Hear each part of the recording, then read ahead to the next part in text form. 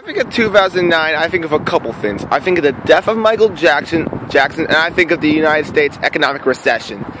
But if there's one thing I really don't want to be reminded of in 2009 is the song "Break Up" by Mario featuring Sean Garrett and Gucci Mane. Oh boy. You want to talk about a flashback over it? You want to talk about this piece of shit? I'll tell you about it. Uh, okay, so how bad is this song, you may say? Well, first of all, the opening to the song is really creepy. Yeah, rule of thumb, never start a song off with whispering.